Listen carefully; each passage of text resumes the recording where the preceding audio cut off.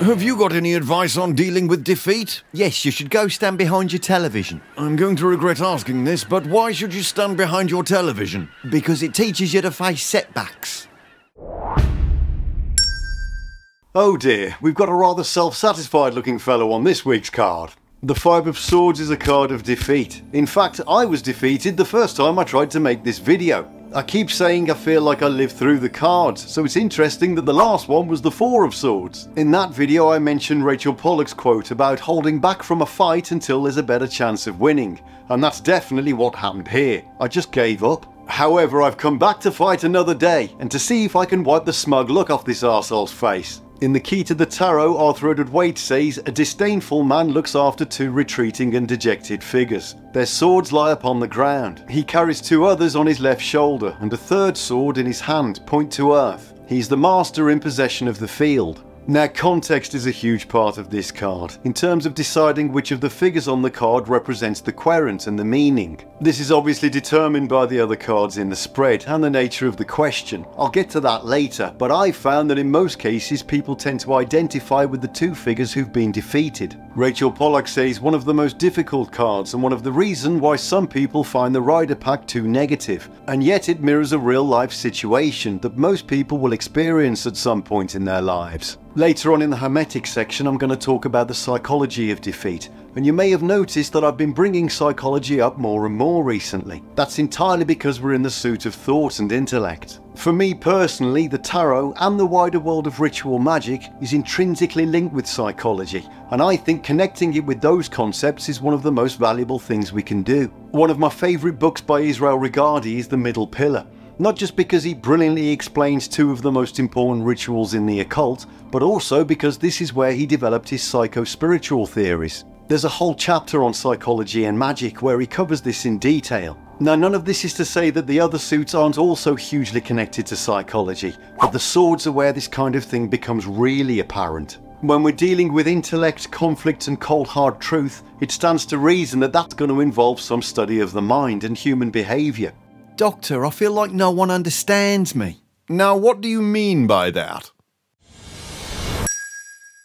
Getting back to the card, the main figure can represent a real person who's sickeningly gleeful in his triumph over others. Schadenfreude is a word that comes to mind. It's a German word that's found its way into common parlance. The dictionary definition of Schadenfreude is pleasure derived from another person's misfortune. So you could call it being a bad winner. I'm reminded of the phrase, it is not enough that I succeed, everyone else must fail. That quote has been attributed to many people, but apparently it originally came from Genghis Khan, who plundered his way across Asia in the 13th century. He'd make a good contender for the fella on the five. Basically, I'm talking about the kind of smug git who gets a little taste of success and then feels obliged to lord it up and rub it in everybody's face. The kind of person who takes more satisfaction from other people's defeat than they do from their own victory. It can also mean being defeated by a situation. We've tried so hard to accomplish something and it's ended in failure.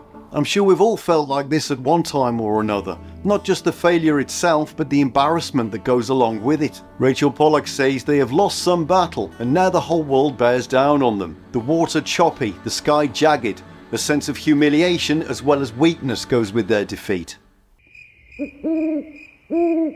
There's a lot going on with the Thoth card, so strap yourself in. In the Book of Thoth, Aleister Crowley says the hilts of the swords form an inverted pentagram, always a symbol of somewhat sinister tendency. Here matters are even worse. None of the hilts resemble any of the others, and their blades are crooked or broken. So I've talked before about the Golden Dawn's opinion on the inverted pentagram and how it represents matter over spirit. I just feel the need to reiterate that I've got nothing against anyone who looks at it differently, whether that's Satanists, Luciferians or anyone else. My philosophy has always been that as long as you're not hurting anyone, fill your boots. However, this is a ritual magic channel, so we are sticking with the Golden Dawn formulas here. Now it's interesting that all of the fives in the Thoth deck have an upside down pentagram, with the exception of the Five of Wands. I've not found a concrete reason for this so far, but Lon Milo DuQuette talks about how Crowley felt a special affinity with this card, as it represents the first decan of Leo. Leo is the ascendant in Crowley's natal chart, so maybe he just couldn't bring himself to put an inverted pentagram on the Five of Wands. Anyway, Crowley goes on to talk about how the defeat in the card could be a result of us not standing up for ourselves when necessary, or being deceived by someone. He says the intellect has been enfeebled by sentiment. The defeat is due to pacifism. Treachery may also be implied. Going back to Lon Milo DuQuette, he points out that if you look closely at the card, some of the symbols in the background form swastikas. He says as this card was painted at the very height of England's struggle with Nazi Germany, it's easy to speculate that Harris was either consciously or unconsciously projecting magical defeat on this hated enemy. Sword number 5 has been added to the Sforza Marseille cards, making them look even more flowery and swordy. If you ever need to give 5 swords as a gift and you're not sure how to present them, fear not, the Sola Busca's got you covered. There's even a lovely bow round the swords as a nice finishing touch. There will be a constant loss where we cannot imagine the amount of suffering. Oh good, we'll look forward to that then. The Hermetic title for the Five of Swords is Lord of Defeat.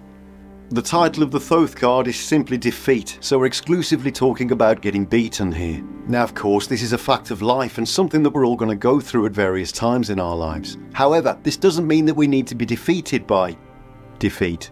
I was reading in Psychology Today about ways to bounce back from an embarrassing defeat. It's a really interesting article, I'll link it in the description, but the different concepts include acknowledging your embarrassment, Common wisdom tells us that the only way to deal with our feelings is to actually feel them so we can process them and move on. Putting things into perspective is another important aspect, so that would mean asking yourself questions like, Am I going to lose my house? or Did anyone get hurt? If the answer is no, then there's a solid chance that we're making a bigger deal out of it than it really is. The chances are that we've just added yet another item to the list of things that we cringe about when they randomly bubble up to the surface of our minds. I think probably the most important aspect is the idea of self compassion and forgiving ourselves. It's inevitable that we're going to feel some self loathing when we fail at something, but at least we put ourselves out there and had a go. If nothing else, we can learn from our defeat and be better prepared in the future. I think the ultimate defeat is when we don't even try in the first place. The Five of Swords corresponds to the Aquarius zodiac sign and to the planet Venus.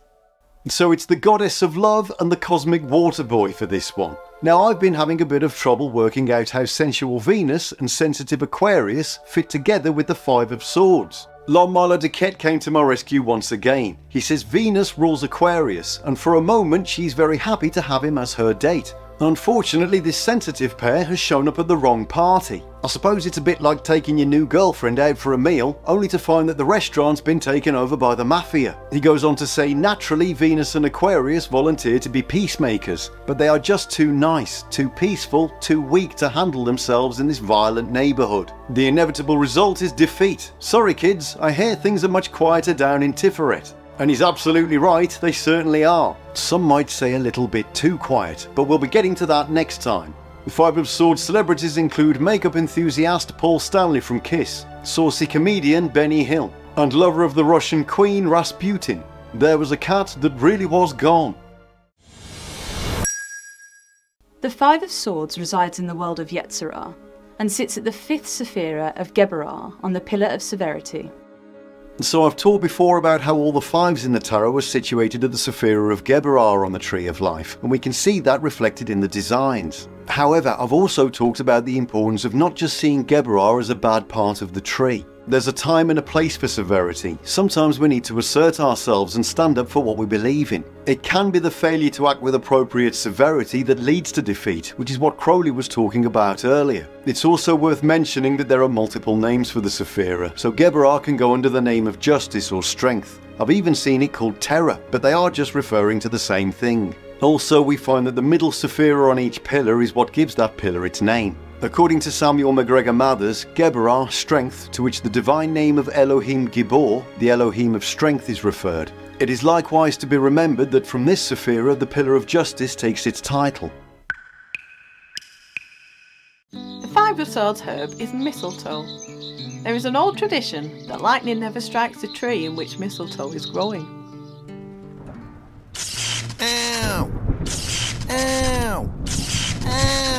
What's going on? Ha ha! They didn't say anything about the cretin standing next to it. But what does it all mean? I think the meaning of the Five of Swords is pretty straightforward. It means getting beaten by someone or something. The reason people find it difficult when it appears in a spread is because it can be a hard one to relate to. Which character represents us? Waite says degradation, destruction, revocation, infamy, dishonour, loss, and the variants and analogues of these. It's another bad one. Bad. Now all of the swords in this suit are two-edged, in that they cut both ways, and this card is certainly no exception. So let's see this from the point of view of the arsehole with the grin on his face. In the Little Book of Tarot, Barbara Moore talks about how one person's triumph means another person's defeat, so we're playing a zero-sum game here. Does winning mean more to us than the well-being of the other person? Are we losing friends and making enemies just for the thrill of victory? She says you might win, but the cost will be so high that you'll wish you hadn't played. You know like those carnival games where you end up paying $67 for a $3 prize? I think the important message here is that we should stay humble in our victories and not try to devalue other people when we succeed. Rachel Pollack says all the five show conflict or loss. Swords carry this idea to the extreme of defeat. Sometimes the meaning of the card will focus on the larger figure in the foreground, the victor. More commonly, we identify with the two figures turned away. So from bad winners, we're moving on to sore losers. If we do find ourselves in the position of the other two figures on the card, and it's inevitable that we will, then I think it's equally important that we should try to remain graceful in our defeat. Kicking off is only going to make us cringe even more when we look back on the situation with a new perspective. We should try to feel the emotion, forgive ourselves, and move on with wisdom. Mind your purse, because soon an attempt will be made on your money. Might be wise to invest in a bum bag to keep your money safe. To my American viewers, that's what we call a fanny pack, which has a very different meaning in the UK. If we read for a married man, it urges him to mind those who are eager to call on his wife.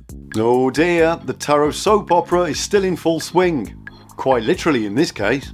If to a married woman, she must mind a person who appears to be following her husband's every move. Careful, ladies. Sounds like you need to keep an eye on your husbands too. Everyone seems to be at it like rabbits.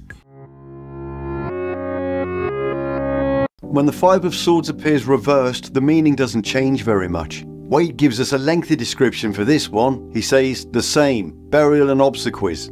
Calm down, Dickens, we haven't got all day. Anyway, funerals seem to be his focus. Rachel Pollack talks about the aftermath of defeat and how we can carry it with us. She says the painful quality remains, even though the emphasis may shift. Where right side up indicates the moment of defeat, reversed extends this to the despair felt afterwards. When this card appears in the reverse, it tells you that it will not take long for you to attend some solemn ceremony, where the purpose is anything but pleasant. I'm sorry for your loss. Is there anything I can do? Could you give me the Wi Fi password, please? You realize we're about to bury your husband. Is that all lowercase? The big takeaway from the Five of Swords is about trying to stay graceful, in triumph and in defeat. Remember, we're in the suit of intellect here, so we're not talking about physical catastrophes. These things are just mental constructs, so let's not allow them to defeat us. Rudyard Kipling nails this in the poem If. If you haven't read it, I'll put a link in the description, but this section really rings true for me with this card. He says, if you can dream and not make dreams your master, if you can think and not make thoughts your aim, if you can meet with triumph and disaster, and treat those two impostors just the same. Looks like we've taken a beating this week, but chin up, I'm sure there's happier cards to come. May the coming days bring you strength and endurance. Until next time.